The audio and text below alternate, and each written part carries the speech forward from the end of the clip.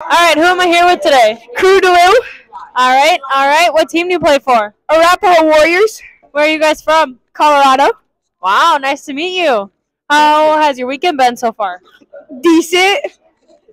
We lost a couple games. How many is a couple? Two. Uh, what position do you play? Defense. What's your favorite NHL team? Maple Leafs. Oh, you can't leave! Get out of there! What do you mean? Bandwagon! All right, thank you for your time.